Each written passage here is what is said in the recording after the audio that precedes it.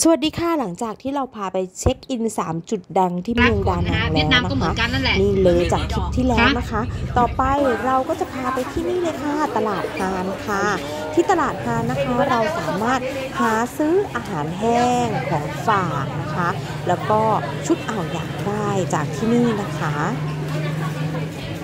มีด้วยกัน 2 ชั้นนะคะ ชั้นล่างก็จะมีกลิ่นของอาหารแห้งหน่อย ชั้นบนก็จะเป็นเสื้อผ้าค่ะนี่ เรามาซื้อชุดอ่าวใหญ่ที่ร้านนี้เลยมีทั้งเด็กแล้วก็ผู้ใหญ่นะคะ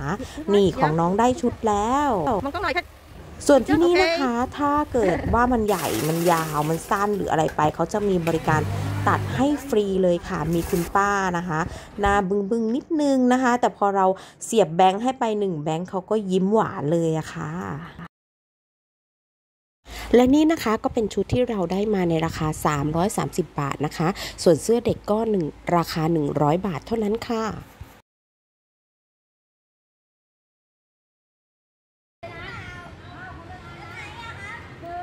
เอเปกปาร์กก็ไม่มีอะไรมากนะคะ ก็อาจจะมาถ่ายรูปกับโดมสวยๆ กระโดดไปขึ้นหนึ่ง ๆ ที่นี่นะคะเราก็จะมาถ่ายรูปเล่นแล้วก็จะมีคนเวียดนาม บางทีเขาก็มาซ้อมเต้นมาทำกิจกรรมอะไรกันที่ลานนี้นะคะ ที่นี่ก็โปร่งโล่งสบายมากค่ะ แล้วนี่ก็ได้รูปมานะคะ น่ารักมากเลย ถ้าจะเป็นมุมกว้างเราก็จะได้ภาพที่สวยเลยค่ะ ต่อไปนะคะเราก็จะไปเช็คอินที่นี่เลยเรือกระด้งนะคะ บรรยากาศในการเดินเข้าไปนะคะ ก็จะเจอกับมะพร้าวข้างๆทางค่ะ ที่นี่เขาก็จะเปิดเพลงนะคะคึกครื้นเลยค่ะ แล้วก็มีธงต้อนรับด้วยนะคะ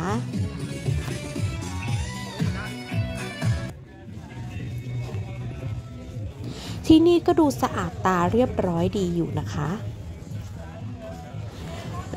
ระหว่างทางเข้าไปนะคะ ก็จะมีพี่ผู้ชายแต่งชุดสดใสนะคะ เปิดเพลงเสียงดัง แล้วก็ยืนเต้นต้อนรับเราอยู่ค่ะ ส่วนที่นี่นะคะก็จะมีมุมของฝากนะคะ หรือใครที่ยังไม่มีชุดเวียดนามก็หาซื้อได้จากที่นี่เหมือนกันนะคะ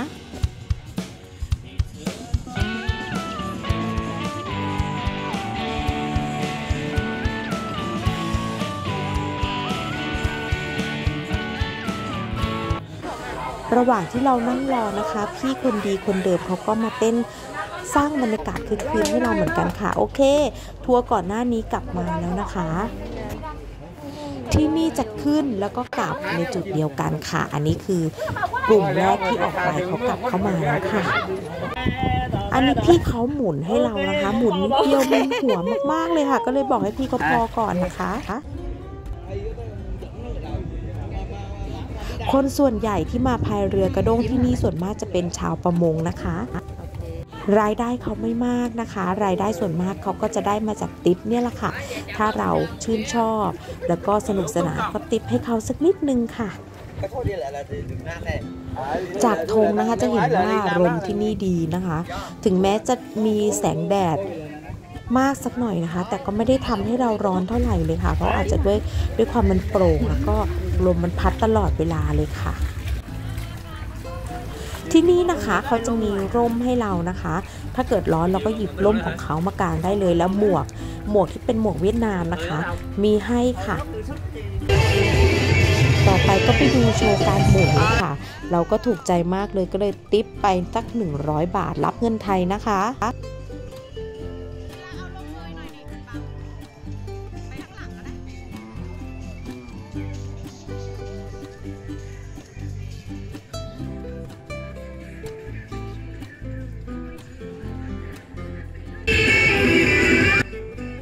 พี่ที่พายเรือเราเขาก็จะเต้นตลอดเวลานะคะ แล้วก็พยายามจะเอนจอยชวนเราเต้นเราเราก็ไม่ไหวค่ะ ขอนั่งชมเฉยๆละกัน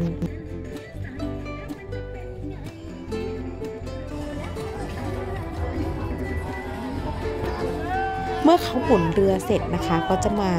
ใครอยากติปเขาก็จะเอาแบงค์ติดไม้พายอย่างเงี้ยค่ะ แล้วก็ให้ไปครับดิฟไปหนึ่งร้อย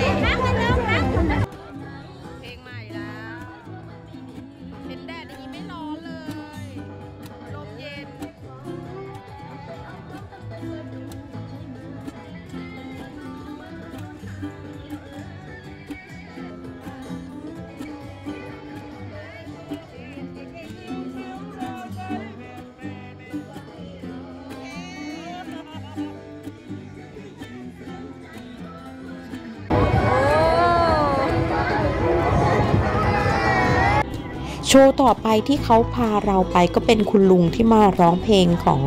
หญิงลีค่ะ เพลงดีเพลงเดิมค่ะเขาก็ไปให้เรานั่งฟังเขาร้องเพลงค่ะ หรือใครอยากจะขึ้นไปเต้นก็เต้นได้นะคะ เสร็จแล้วก็ให้ติปไปค่ะเป็นขวัญกำลังใจเล็กๆ น้อยๆค่ะ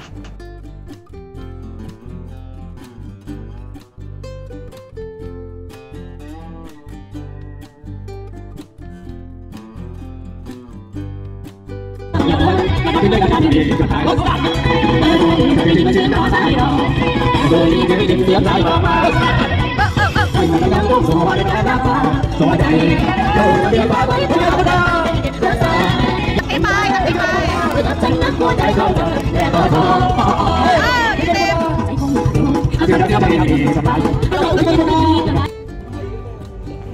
ว์ส่วนมากของเรือกระด้งก็จะมีประมาณนี้นะคะ หลังจากนั้นเนี่ยเขาก็จะพาเราพายเรือกลับไปจุดเดิมในจุดที่เราขึ้นมาค่ะ อันนี้ก็เป็นบรรยากาศนะคะ ก็จะเห็น